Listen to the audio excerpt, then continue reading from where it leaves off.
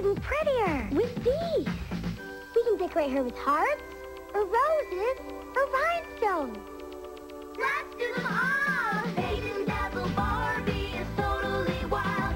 Paint a heart or a flower for a hot new style. Use a sparkling paint and magical glue. Add the roses and the rhinestones, her style's up to you. Let's decorate your paint and dazzle doll. Comes with pom-poms and shiny stars. Mine comes with pearls and neon paint. It's fun to. Paint and dazzle Barbie